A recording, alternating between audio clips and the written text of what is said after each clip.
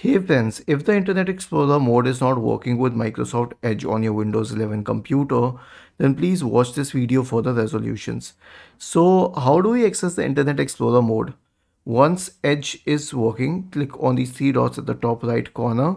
Now select settings, go to default browser and it says let Internet Explorer open sites in Microsoft Edge. So change this to always recommended and allow sites to be reloaded in Internet Explorer mode. Change this to allow and then you have to restart your browser and it will open in the Internet Explorer mode.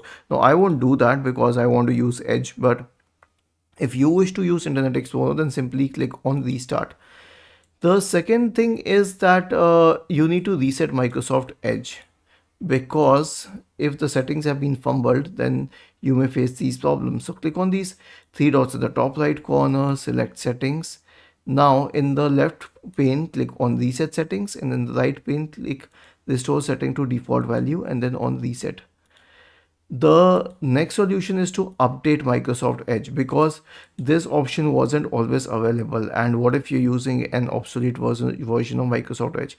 So click on these three dots at the top right corner, select help and feedback and then click on about Microsoft Edge and it started to check for updates. Last solution is to repair the Microsoft Edge client. How do we do this? Right click on the start button and select settings from the menu Go to apps tab on the list on the left hand side, select installed apps. Wait for it to load, click on Edge. Click on these three dots at the top right corner and select modify. This will open this page and then click on repair and this will repair Microsoft Edge. Was this helpful? If yes, then please subscribe to our channel and if not, then let us know in the comment section of this video on how we could improve further. Thank you for watching this video and have a nice day.